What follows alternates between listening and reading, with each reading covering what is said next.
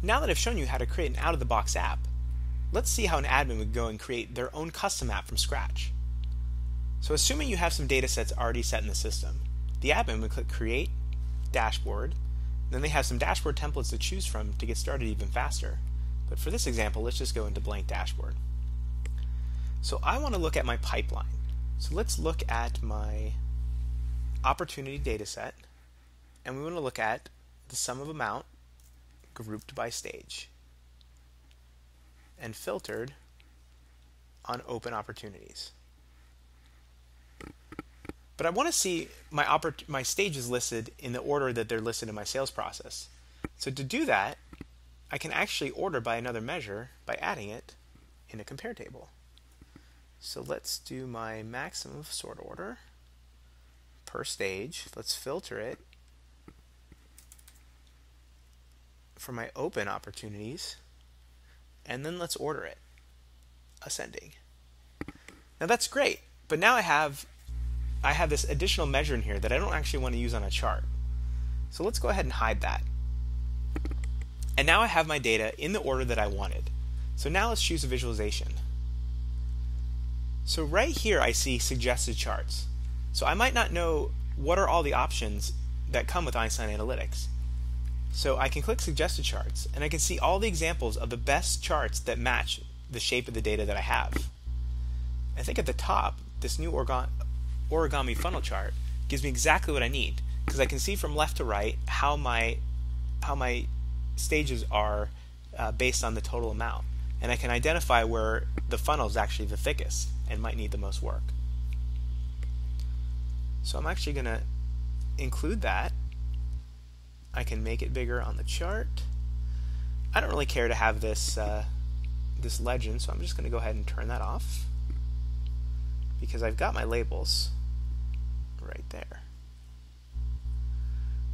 So this is great. But I want to add some filters for this. I actually want to do some filters based on uh, certain accounts. Now, not all my opportunities may have accounts, so I want to make sure that I pull my accounts data set that may not have opportunities. I'm going to add that as a filter. It's a list filter. So I'm going to change data sets. I'm going to choose accounts from my Sales Analytics app, and I want the account name. Great. Now right away you see this data set was opportunities and this data set is accounts. So if I if I try to filter, I don't see anything change. And that's where data set connections come in. So without having to do any code, I can connect my data sources give it a name, and choose the first data source.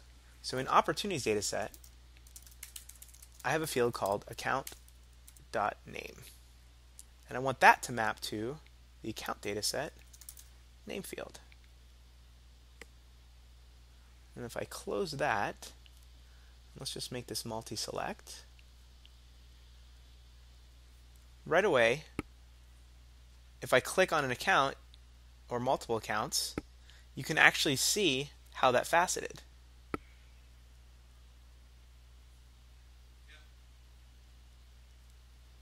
So now I have two data sets that are completely different and I'm faceting them without having to create any code. I added a few more filters based on the business requirements, such as being able to filter by product name and close date, and I think I'm about ready to share this out. However, I want to make sure that the, the, the, end users don't have any questions when they come to this dashboard. They know exactly how it works. So now I have the ability to add an external link. And I'm going to link that to a help uh, page that I've built up. So in this case, I'm going to change this to help. And I'm going to use uh, URL. In this case, I'm going to paste in the URL for the help site that I've set up. And when I view this, you can see when I click the help, it pulls up this page that tells them exactly what they need to do. I've shown you some examples on how to build dashboards using data sets that live in Einstein Analytics. However, did you know that you could build a dashboard that doesn't even require a data set that lives in Einstein Analytics. In this case, we're making a real-time REST API call to a site, Markit on Demand, to get data based on stock quotes. We're pulling specific stock quotes and we're ordering it by date to show trends. In this case, I can see how Salesforce is trending over time. Now let's see how this works. This Apex class actually does a REST call to Markit on Demand to grab some data, package it up in a specific format, and pass it back to Einstein Analytics. We unpackage the data, which looks just like the data that came from a, a regular query. So the widgets already know how to process it. And I can create my same filters to go through the data and dynamically change my chart. As an admin, I'm very interested in how my users are using the system. Let's look at what the Event Monitoring app has for us. Right here, I can look at the Einstein Analytics Event Monitoring app. This is just a single view of our Event Monitoring app where I can actually see the details of Einstein Analytics adoption. What are the trends by user interaction and performance? And because this is an Einstein Analytics app, I can drill down and look at each individual specific user as well. Let's take a look at what else is in this app.